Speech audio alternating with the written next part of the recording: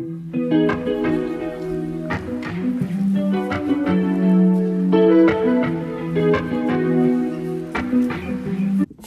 up guys and welcome back to my channel. If you're new, hi I'm Kensy and on my channel I do cool videos like vlogs and get ready with me's and just uh, crafts here and there. I have some cool videos planned for this week as well. So um, anyways, if you're new, it's Kensy here and you should totally go down below and hit that big red subscribe button if you would like to see some more of my videos. And while you're down there, you can go ahead and turn on post notifications so that you can get notified when I upload. And give this video a thumbs up if you are just done with this quarantine. And I hope that everyone is staying safe and staying at home because that is what you need to do if you want this quarantine, quarantine to be over quicker. So um, anyways, just drinking some lemon water. And in case you couldn't tell by today's title of the video, this is my Burt's Bees collection and I'm going to be reviewing some of them. So, um, yeah, it's pretty self-explanatory. So let's just get right on into the video. Okay, so first up, we will do my chapstick collection. So I have this little jar that sits beside my bed and I have all of these and these are the normal chapsticks. So, um, first off, I have the um, Ultra Conditioning. This one is amazing if your lips are really chapped. Then I have the Peppermint. I use this one every morning when I'm getting ready because this one, I put it on right after I brush my teeth and it helps keep me minty. And then I have this Vanilla. I use this one almost every night right before I go to bed to make sure that my lips are not getting chapped.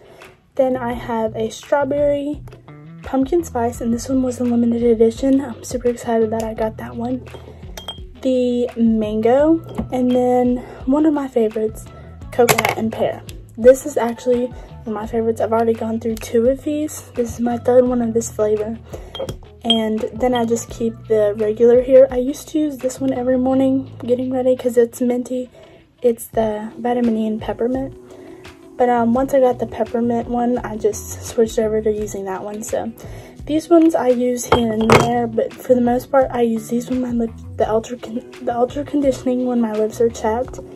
Use the peppermint every morning and the vanilla before I go to sleep. So this is the batch I keep by beside my bed.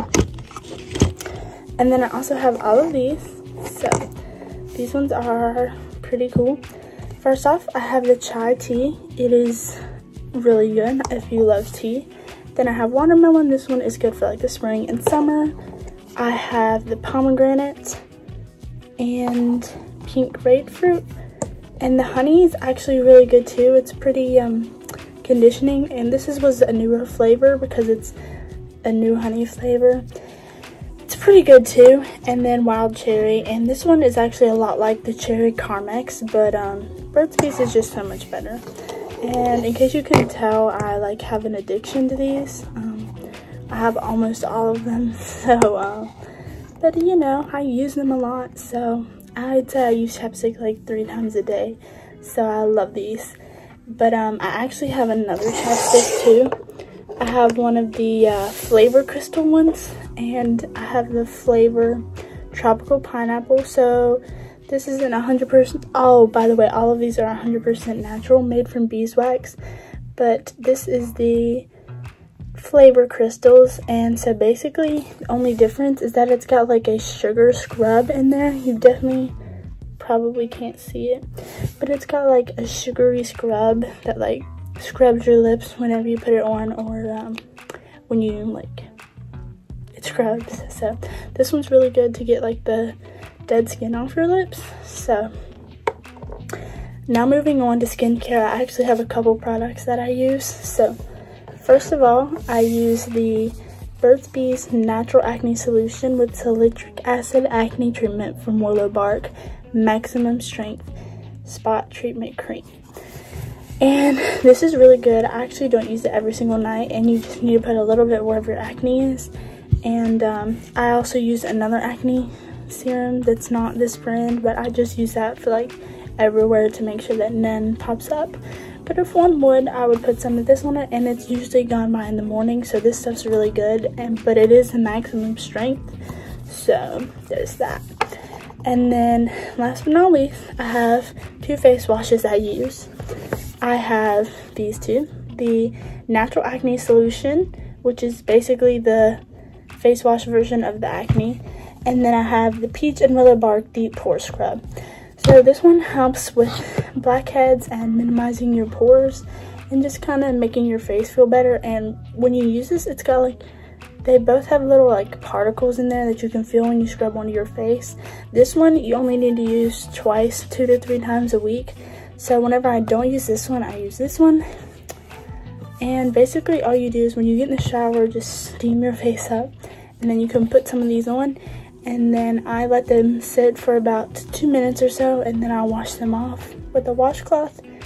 And um, both of them work really well. But And I can definitely still see a difference in my skin when I don't use them. So when you run out, you may want to have another one handy. Because if not, your skin's probably going to break out.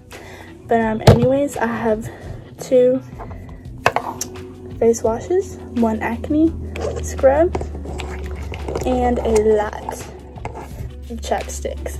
So, I actually think I have 14 or 15 chapsticks, well 16 I think, counting this one. So, um, yeah, that was my Burt's Bees haul, or collection and review. So yeah, that's all that I have. I hope you guys enjoyed, and make sure if you did, you, you hit that subscribe button down below and join the family. And um, yeah, I have some really exciting videos planned for the upcoming week or so here in quarantine. So um, make sure you join so that you can know when I upload and watch my videos while you're quarantined at home. So um, yeah, anyways, that's all that I have. Thanks for watching. Kensy out.